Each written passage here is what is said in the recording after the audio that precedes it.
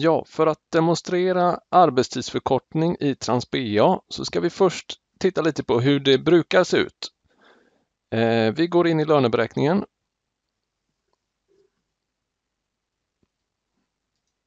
Tar upp en anställd här. Här ser vi att eh, den anställde har jobbat lite natt.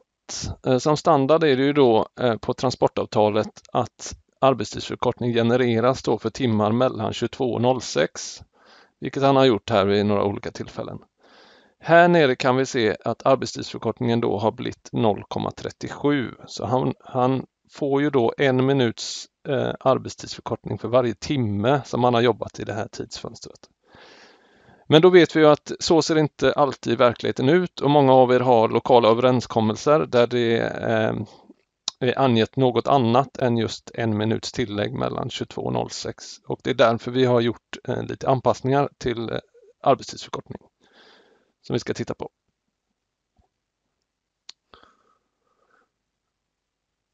Registret till eh, arbetstidsförkortning det hittar ni under register och arbetstidsförkortning.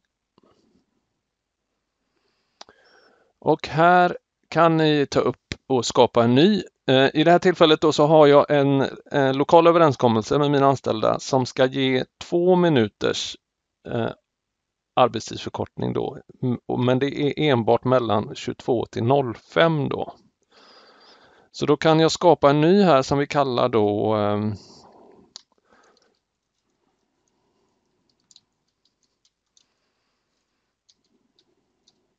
till exempel sådär.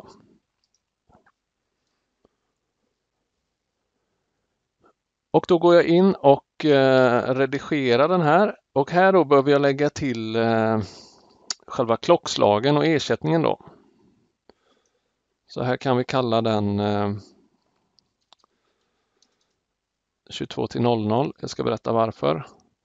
Och här anger jag då ersättningen är 2 minuter per arbetad timme. Om man vill så kan man eh, bocka i den här och då eh, utgår bara ersättning för varje liksom, eh, avslutad timme. Det är så det fungerar som standard i den här vanliga arbetstidsförkortningen. Så jag bockar i den. Och så vill jag att det gör avdrag för raster. Om de har rast så får de inte eh, utbetald arbetstidsförkortning. Lönearten ligger redan förutfylld här. Det är ju den här standardlönearten för arbetstidsförkortning vi anger. Vi använder. Och här matar jag in då, eh, här bryter vi vid midnatt så man får göra den här i två steg då om man ska ha en, en nyckel som går över, över midnatt så att säga. Så jag börjar med att skriva 22 till 00 och sen väljer jag alla veckodagar och alla helgdagar här. Då är den första skapad och sen gör jag i stort sett precis likadan då men den kallar vi 00 till 05 då och så två minuter.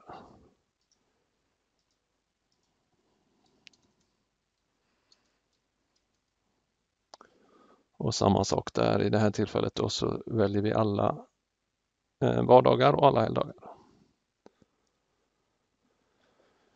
Då har jag fått skapat min arbetstidsförkortningsnyckel eh, som då heter 2 minuter ATF mellan 22 till 05.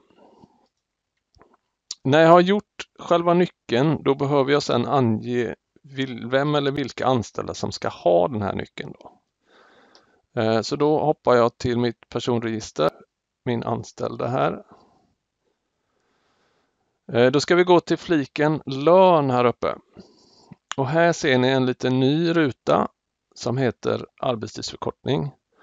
Eh, på alla era anställda nu innan ni har gjort några ändringar så kommer det stå enligt avtal. Då är det precis som vanligt, inga förändringar i den här beräkningen. Men om jag då tar upp den här så ser ni att jag har tre alternativ här. Antingen då enligt avtal, precis som vanligt. Jag kan välja en eh, nyckel som jag har byggt själv eller jag kan helt slå bort arbetstidsförkortningen. Det är många som har önskat det också, att kunna slå bort den. Man kanske har anställda som går på avtal där de inte alls ska ha det här. Då kan man slå av den helt.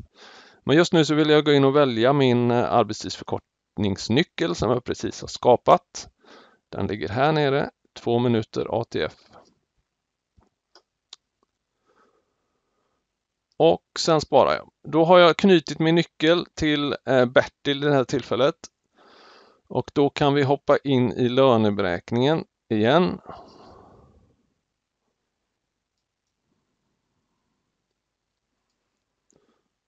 Vi tar upp samma lön som tidigare.